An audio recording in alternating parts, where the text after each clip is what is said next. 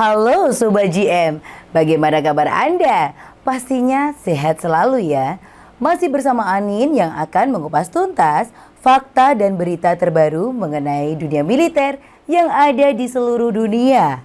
So, pastikan kalian tetap stay tune terus di YouTube channel Garuda Muda dan jangan lupa klik like, subscribe, serta aktifkan notification-nya biar kalian gak ketinggalan update berita terbaru dari Garuda Muda. Prajurit TNI Angkatan Darat tengah menguji tembak rudal anti-tank Javelin yang namanya kembali mencuat dalam perang Rusia-Ukraina. Rudal ini terbukti sukses menghambat sekaligus menghentikan laju kendaraan perang pasukan Rusia selama invasinya ke Ukraina sejak 24 Februari 2022. Sebenarnya Javelin sudah malang melintang dalam berbagai palagan, mulai dari perang Irak, perang Afghanistan, perang saudara Libya, perang Suriah hingga perang Rusia-Ukraina kali ini.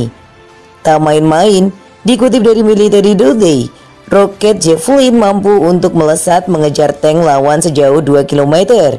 Kemampuan mematikan yang ada pada roket ini didukung dengan adanya sensor inframerah yang tertanam pada peluncur dan warhead dari FGM-148 Javelin. Roket FGM-148 Javelin merupakan senjata anti-tank yang dilengkapi dengan sistem Fire and Forget Portable.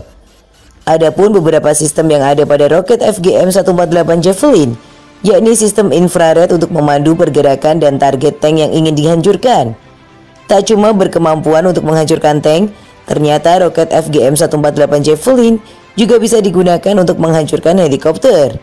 Namun dengan catatan, helikopter yang diserang roket FGM-148 Javelin dalam posisi terbang rendah.